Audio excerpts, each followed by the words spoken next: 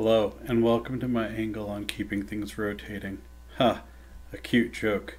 Sorry if it was obtuse to a degree. I feel like I'm going on a tangent.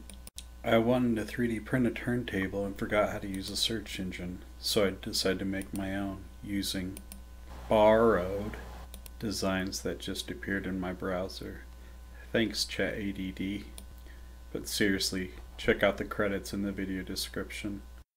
First, I started by taking the base for the gears and making a pancake out of it with Serapulse to embolden my diabetes. Next, I put a shaft on the main gear for the plate to connect to. I didn't choose pink, it chose me. This one got shafted, too. It extends with this larger turny thing used for turning things. Here are the time lapses of the parts printing. I hope you're not overwhelmed while you bask in the glow of poorly lit mediocrity. Brr, brr, brr, brr. That's the sound printers make. You can keep doing it yourself. I'm thirsty.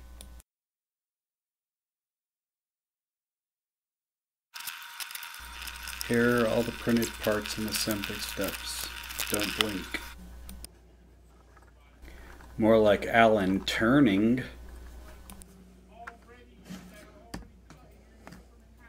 Like an Euler circuit, this thing works it.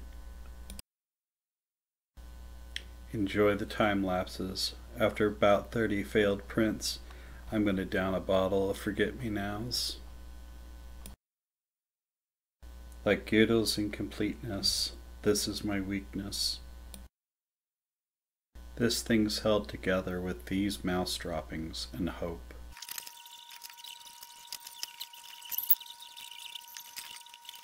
I'm all out of hope.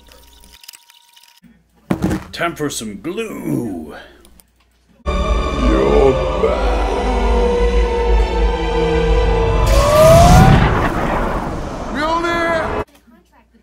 Introducing 3D printing's real hero.